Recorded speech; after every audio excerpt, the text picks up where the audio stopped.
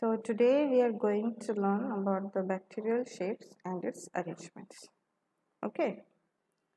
So before getting started, we need to know that how many types of microorganisms are actually present on this planet. Okay. So the microorganisms these are commonly divided into five groups. First is bacteria, then is virus, algae, fungi and protozoa. These are the five common types of microorganisms that are present in this planet. Now coming to the different shapes of the microorganisms. So these different types of microorganisms have different shapes which we'll see in the scale graph. So this is the scale graph showing the different sizes of the microorganisms. Now these shapes of the microorganisms are actually defined by the cell wall okay so this cell wall that determines the shape of the microorganisms. Now coming to the sizes of the microorganisms here we can see in this scale graph. So these are the pictures which are observed under light microscope and electron microscope. Okay so light microscope will give a brief idea about it. So the light microscope are the microscope that are generally present in all the laboratories for general visualization of the microorganisms. However, for uh, microorganisms which have a size less than 10 micrometer, they are visualized using a highly advanced microscope that is the electron microscope. Okay. So this virus mycoplasma they are seen in the electron microscope only. They cannot be seen in the light microscope. Okay. So here we can see that viruses are the smallest microorganisms depending on the sizes you can see 0.05 to 0.1 micrometer. Second is the mycoplasma. So mycoplasma is a type of bacteria. It's the smallest bacteria having 0.1 to 0.5 micrometer size. Then we have bacteria. So the most common type of bacteria that are present, they have a size range of 1 to 10 micrometer. Otherwise, bacterial size range also uh, increases from 0.1 to 14 micrometer. Okay. Then we have yeast. Is yeast is a type of fungi. It's the smallest fungi present, having 3 to 10 micrometer size. So all these are the prokaryotic cells. Now this becomes eukaryotic cell. Now yeast is also a type of eukaryotic cells. However, eukaryotic cells has a size of 10 to 100 micrometer. And Larger than this is the mycelia. This is a type of fungus which has a size of 100 micrometer and it can extend up to several meters. And uh, we can see this using our naked eye only. Okay. So these are the shapes of the microorganisms we see in the scale graph. Now coming to the smallest and the largest of the microorganisms. Okay. So we'll have a quick review on it, the smallest and the largest. So first we come to the bacteria. So the smallest bacteria that is present is Mycoplasma genitalium, okay, which has a size of 0.2 to 0.7 micrometer. And the largest bacteria is Thiomargarita magnifica and its size is 2 centimeter, which is very large when compared to the actual bacterial sizes. Okay, it is very large. Now coming to the virus. So the smallest virus known as adenovirus, it has a size of 60 to 90 nanometer. And the largest virus is mimivirus and megavirus. So mimivirus has approximately size of 700 nanometer and megavirus has a 680 nanometer size. Okay, so the smallest and the largest virus group. Coming to the algae, so the smallest algae present is Chlamydomonas which has a size of less than 25 micrometer and the largest algae is giant bladder kelp which has a size of 65 meter which is very large in size, right? So this is the algae part. Now coming to the protozoa. So the smallest protozoa is flagellates. Now this has an area of 3 to 7 micrometer into 3 to 5 micrometer. Okay, this is the area of the smallest protozoa. And the largest protozoa is Xenophyophores, which has the diameter of 20 centimeter. Okay, this is the largest protozoa is Xenophyophores. Now the last one is the fungi. The smallest fungi is yeast, which you have seen our previous slide. It has a size of 2 to 10 micrometer. and the largest fungi is Armillaria ostoyae. It has a surface area of 8.9 kilometer square which is huge. Okay. So these are the smallest and the largest microorganism present in their groups. So this, this concludes that the smallest microorganism is virus and the largest microorganism present on earth is fungi no doubt. So in this video we'll talk about the bacterial shapes and sizes only. So here in bacteria generally there are actually four common shapes okay. So the shapes that are present are spherical, rod shaped, vibrio and spirillum. Okay.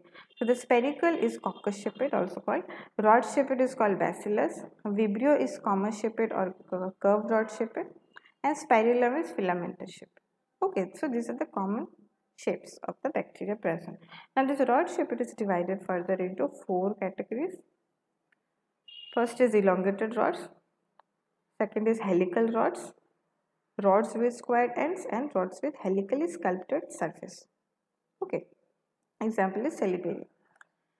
Now this elongated rod shapes are the most common shape that is present in the bacteria. This is the rod elongated shaped bacillus. Okay, so this is the most common type of bacillus present.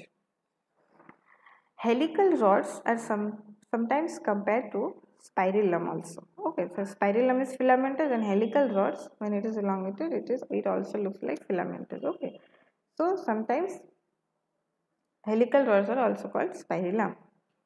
Okay. Now here in the note we can see unicellular cyanobacterial cells are usually spherical, some are elongated and multicellular. Okay. So cyanobacteria is an algae. So um, we, we will uh, learn in, in our another video about the algae. Now we'll come to bacteria. So coming to the details of this bacteria shapes. So first is our bacillus which is rod shaped. Now this rod shaped bacillus is divided into five categories. So the first one is monobacillus which is a single rod shaped bacteria. Diplobacillus which is the two rod shaped bacteria attached to one another in this form as shown in this picture.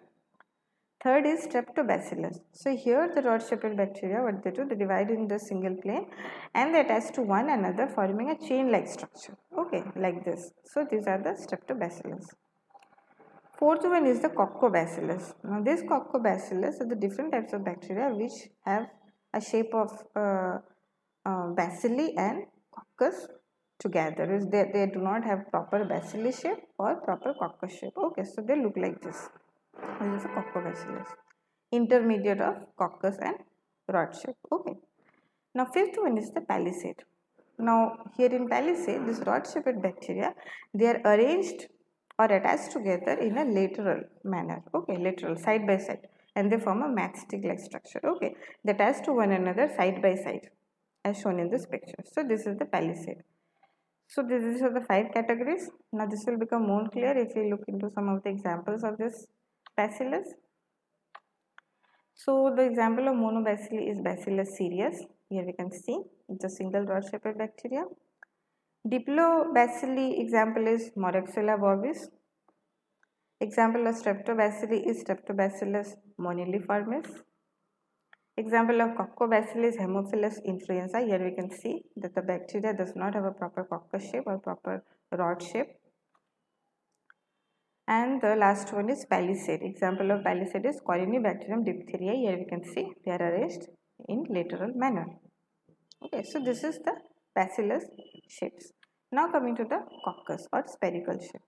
Now this is further divided into six categories first is monococcus it's a single spherical shaped bacteria second is diplococcus so the two spherical shaped bacteria are attached to one another in this form Third is Streptococcus. Here the single spherical shaped bacteria what they do they divide and they get attached to one another forming a chain like structure. Okay. So they come in the group of Streptococcus. Fourth is Tetracoccus. Here the um, coccus shaped bacteria that attach to one another and form a cluster of four cells. Okay, four bacterial cells that attach to one another in a single plane. So this they come under the Tetracoccus group. Fifth is Staphylococcus. So here the coccus shaped bacteria what they do? They divide in two to three plane. Okay, and they get attached to one another forming a grape-like structure. So grape-like structure bacteria generally come under the category of Staphylococcus. Okay, and the last one is Sarcina. So Sarcina has a cluster of 8 cocci attached together as shown in this picture. Now this will become more clear if we see the examples. So the example of monococcus is Micrococcus flavus. Example of Diplococcus is Streptococcus pneumoniae. Example of Streptococcus group is Streptococcus pyogenes. Not all the Streptococcus come under the Streptococcus group. Okay, don't get confused. Example of Tetracoccus is Gaffkya tetragena. Here you can see 4 4 coccus bacteria attached together. Example of Staphylococcus is Staphylococcus hemolyticus. Here you can see they have attached together in a grape-like structure.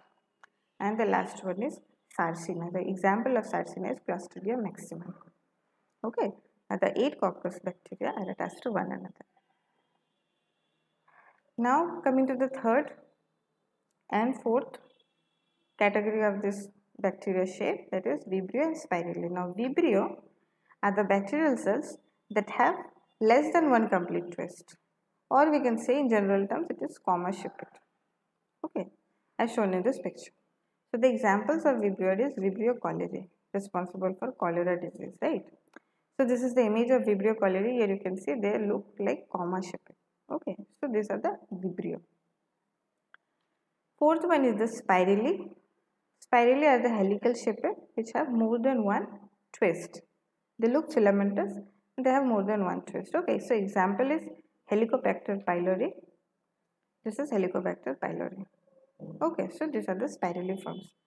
So this Bacillus, Coccus, Vibrio and Spirilla are the four common types of shapes that are present in the bacteria. Other than this, there are two other forms that are present in bacteria. That is, the first one is pleomorphic. Pleomorphic are the bacteria who changes forms. They don't have a definite form or the common form. Okay, so they always change their form. So the example of this is rhizobium.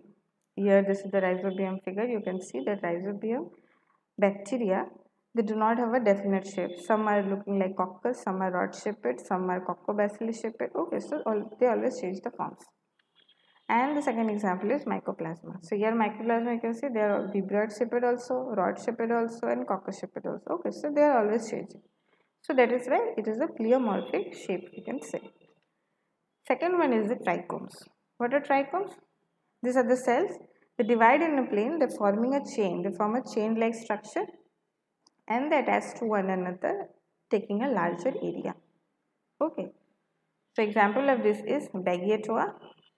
It's like this is a chain-like structure Beggiatoa, and they are attached to one another. They take a large area. And the second one is Saprospira. So this is Saprospira. So these are the two other shapes of bacteria that are present other than this four commonly present bacterial shapes. Okay. So uh, hope you all have enjoyed this video. If you have any queries feel free to comment below. If you want any topic to be simplified you can also comment that below. And i'll see you in our next video